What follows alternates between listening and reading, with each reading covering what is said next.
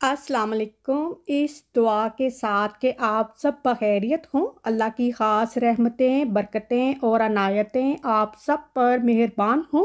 मेरी दिली दुआएँ और नेक तमन्नाएँ आप सब सुनने वालों के साथ हैं। जिंजर, गार्लिक, ओनियन को थोड़ा सा पानी डाल के मैं ग्राइंड कर रही हूँ। अबाउट हाफ़ कप मैंने पानी डाला होगा और तकरीबन एक किलो मेरे पास यहाँ पर मीट है, लैम मीट है और उसी हिसाब से मैंने जिंजर, गार्लिक, ओनियन लिया है और यहाँ पे मैं मटन मसाला बना रही हूँ। इसमें नमक, मिर्च, हल्दी डाल दी है। जितना भी आप मतलब जिंजर गार्लिक ओनियन या नमक, मिर्च मसाला एक किलो गोश्त में डालते हैं। आप उसी हिसाब से डाल सकते हैं। यहाँ पर है बड़ी इलायची दारचीनी और लौंग।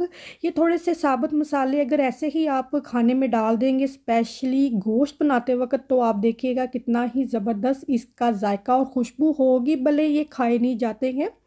और तीन टमाटर हैं, ये फ्रोज़न हैं तो इनके छिलके उतार के इनको भी ग्राइंड कर लिया मैंने।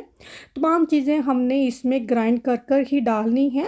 थोड़ा सा ही पानी डाल के मैंने जिंजर गार्लिक ओनियन को ग्राइंड किया है, उसी में इस गोश्त ने गल जाना है।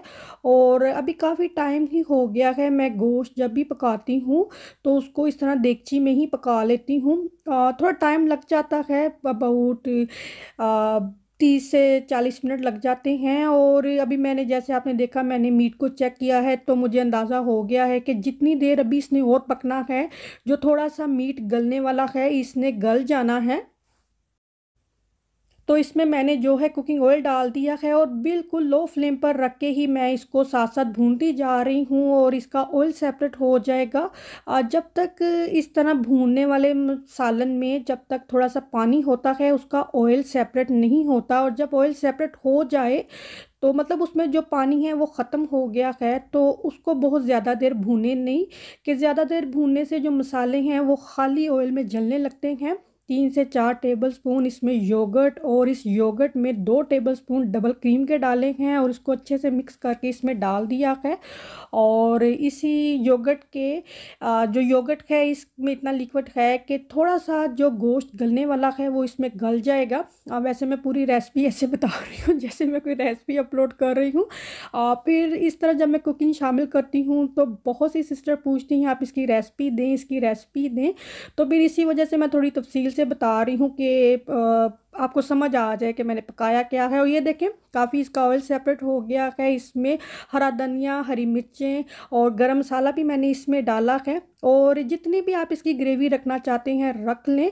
सर्दियों के मौसम में ऐसे खाने बड़े ही अच्छे लगते हैं। नान के साथ नान के साथ इस सालन को खाएँ तो फिर देखें क्या ही इंसाफ होता है और थोड़ा सा साबुत मसाला डालने से आप अगर इस रेसिपी को ट्राई करें तो आप देखेंगे कि बिल्कुल ऐसा लगेगा जैसे देख का सालन खा रहे हैं।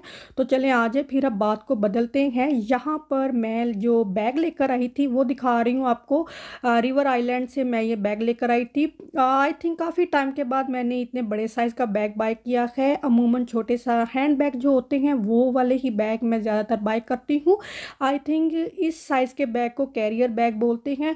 मसलन आप कहीं शॉपिंग पर गए हैं तो थोड़ी बहुत चीज़ें आपकी इस बैग में भी आ जा, आ जाएँगी। जैसा कि अभी आप देख रहे हैं कि मैं इसमें जो लेगिंग है वो रख रही हूँ, क्योंकि वो मैंने बाहर लेकर जानी, बाहर जा रही हूँ मैं और मैंने प्राइम मार्क पर इनको रिटर्न करवाना है। बेटी के लिए लाई थी तो उसको ये पसंद नहीं आई तो अभी मैं रिटर्न करवाऊँगी तो वो मेरे साथ चली जाएगी। जो उसने बाय करना हो तो कर लेगी। तो इस तरह के बैग में थोड़ी बहुत चीज़ें जो हैं वो आ जाएँगी और मेरे हस्बैंड मेरी हेल्प करवा रहे हैं इसके टैग वगैरह उतारने में और कितने ज़्यादा बैग आपने देखा इसमें से निकले हैं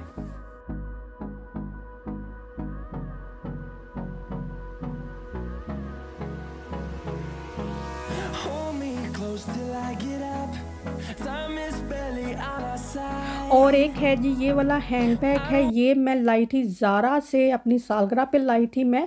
आ, मुझे बहुत अच्छा लगा इसका design and is only nineteen pound और जो पहला था वो फोर्टी पाउंड का था और अभी मैंने इसको इस्तेमाल नहीं किया। आई थिंक पाँच हफ़्ते हो गए हैं। ये ला कर रखा हुआ है और आप इसको शोल्डर बैग के तौर पर भी इस्तेमाल कर सकते हैं और ये बैग मेरी बेटी को काफ़ी पसंद आया। तो अभी मैंने इस्तेमाल नहीं किया तो वो कहती मामा ये बैग मैं यूज़ करूँगी। तो मैंने कहा ठीक है, आप यूज़ कर लो। अभी मैं गई हूँ जी माटा लान और इस दफ़ा पता नहीं मुझे इस तरह के जो ब्लाउज़ होते हैं वो काफ़ी अट्रैक्ट अट्रैक्टिव लग रहे हैं और मैंने कुछ एक बाय किए हैं। और ऐसे होता है जैसे आप शलवार कमीज़ पहनते हैं या आप मैक्सी ड्रेस पहन लेते हैं लेगिंग के साथ तो ऐसे भी आप टॉप भी पहन सकते हैं। और यहाँ पर काफ़ी ज़्यादा वैरायटी में हैं, लीलन के भी हैं, शफून के भी हैं, और ये जो मैंने बाय किया है, ये लीलन का है, और यहाँ इस लड़की ने भी जो फ़ोटो में पहना है, ये भी सेम वही है, बस ये है कि वो ब्लैक कलर का है। और ये जो ब्लाउज़ के डिज़ाइन है, सेम इसी पैटर्न और इसी डिज़ाइन में यहाँ पर पड़े हुए हैं। जो मैक्सी ड्रेस हैं वो भी हैं। पहले यहाँ से ऐसे ड्रेसेस नहीं मिला करते थे, लेकिन अब देखें पिछले चंद एक सालों में ये जो ऐसे मैक्सी ड्रेसेस हैं, ये बहुत ज़्यादा वैरायटी में और वाइड रेंज में हैं। लीलन से जर्सी ड्रेस में लीलन फैब्रिक में या शिफून में हर तरह के हैं और हम इन्हें इजीली कैरी कर सकते हैं। हम इनको लेगिंग के साथ या डेनम जीन के साथ आराम से पहने जा सकते हैं, जिस तरह के कपड़े हम पहनते हैं।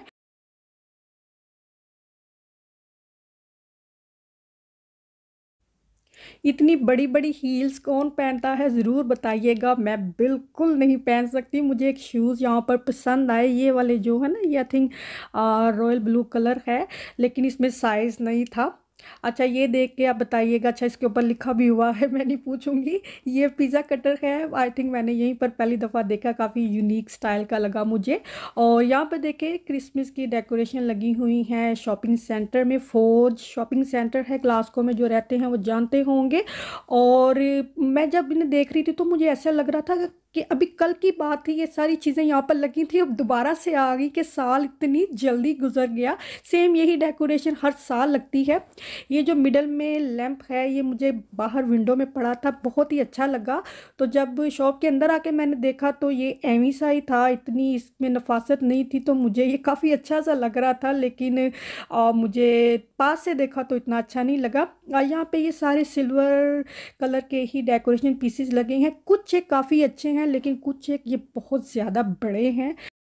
एज़ यूजल स्कूल छोड़ने जा रही हूँ बच्चों को तो बेटा और छोटी बेटी कह रहे थे कि हम पैदल ही जाएँगे क्योंकि स्कूल इतनी पास है।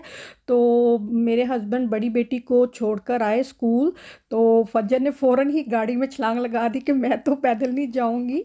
तो मुझे गाड़ी में ही जाना है तो फिर छोटे बच्चों को मैं पैदल स्कूल छोड़ने जा रही हूँ। अभी ये नेक्स्ट डे ही है, जो सालन मैंने एक दिन पहले बनाया तो उसको अब दोबारा दोपहर में खाने के लिए थोड़ा सा गर्म कर रही हूँ। और यहाँ पर आप देख सकते हैं मैं गाजर का बना रही हूँ हलवा।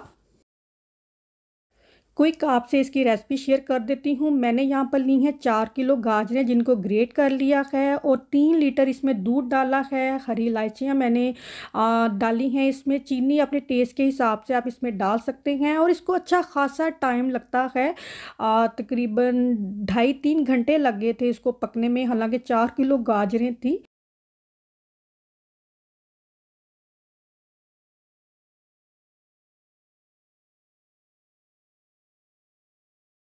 ड्राई मिल्क पाउडर से full fat dry milk powder से मैं खोया बना रही हूँ। इसकी रेसिपी का लिंक भी मैं डिस्क्रिप्शन बॉक्स में छोड़ दूँगी।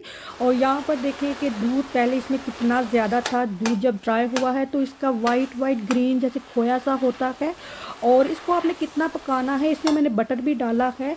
इसको कितना सूखा रखना है? कितना आपने इसको ड्राई रखना है? ये आपकी अपनी मर्ज़ी है। थोड़ा सा ड्राई मिल्क पाउडर भी मैं इसमें डालती हूँ। और यहाँ पर देखें मैंने इसको डिश आउट कर दिया है। बहुत लंबी चौड़ी रेसिपी नहीं शेयर की क्योंकि मेरे चैनल पर ये पहले से मौजूद है और मेरा बेटा फिर गया है अपने डैडी के साथ कॉस्को पर। तो मैंने जाने से पहले से कहा था कि प्लीज़ कोई गाड़ियाँ मत अपने लिए ले आना, तुम खेलते नहीं हो, वैसी पड़ी रहती हैं। तो ये फिर बाज नहीं आया तो ये अपने लिए फिर टोए उठा के ले आया। इससे पहले कि मैं भूल जाऊँ, आज एक शाउट आउट है शाजिया खान। शाजिया खान के नाम से एक ब्लॉगिंग चैनल है। आपको उनके चैनल का लिंक डिस्क्रिप्शन बॉक्स में मिल जाएगा। Please visit on that channel and also show your support beginner है, नया चैनल उन्होंने बनाया है तो प्लीज़ आप ज़रूर सपोर्ट करें।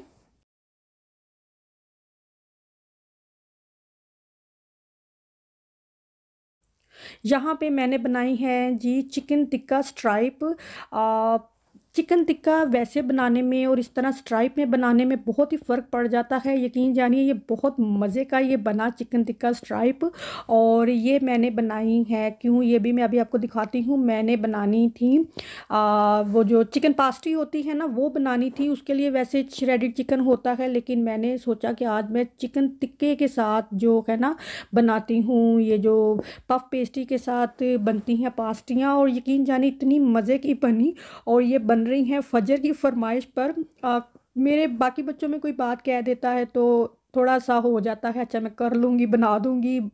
लेकिन फजर कोई बात कहती है तो उसको बनाना ही पड़ता है क्योंकि वो पीछा नहीं छोड़ती है। और बड़ी ट्रे में बेक की थोड़ी सी बच गई तो मैंने पिज़्ज़ा ट्रे में रख दी। और ये देखें कितनी खूबसूरत ये बेक हुई हैं। और ये हमारा डिनर था।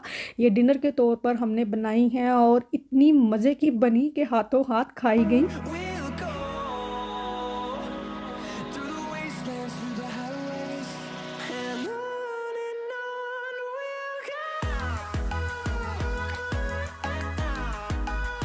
खाना पीना खा लिया तो अब थोड़ा काम भी कर लेते हैं। आ, घर की जो है अपस्टेयर की सफ़ाई करने वाली थी तो मैंने सुबह बच्चों को स्कूल छोड़कर आई हूँ तो फ़ौरन से ही मैं अपस्टेयर चढ़ गई ऊपर कि मैंने आज सारे घर की जो है डीप क्लीनिंग करनी है और पहले मैंने बेडिंग सारी उतारी हैं और सारे घर की डीप क्लीनिंग की डस्टिंग की मॉप किया और सारी सफ़ाई की और बहुत ज़्यादा डिटेल से मैं इसलिए नहीं शेयर कर रही हूँ क्योंकि मैंने पहले भी बहुत दफ़ा ये साफ़ सफाइयाँ शेयर की हुई हैं।